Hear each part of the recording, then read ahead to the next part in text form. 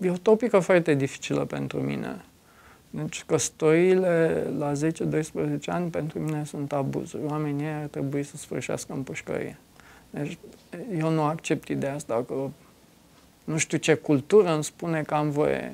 Cultura n-a fost niciodată, n-ar trebui să fie, să restricționeze un drept.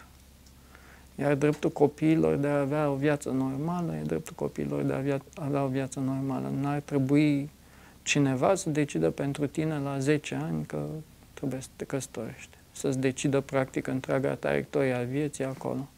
Iar abuzurile împotriva puștoaicelor sunt îngrozitoare. Da, vorbim, și de neacceptat. Da, vorbim uh, de faptul că așa au prins.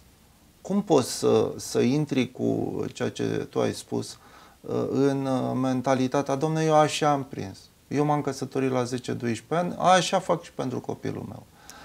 Cum scurt-circuitezi această, această, acest luat de drept, cum spui tu, luatul dreptului? Prin aplicarea legii. Aplicarea foarte dură a legii. Deci, deci ești de acord cu intratul uh, legii absolut, în funcțiune? Absolut. Sunt la fel de acord cu intratul legii în funcțiune în ceea ce privește bătaia copiilor.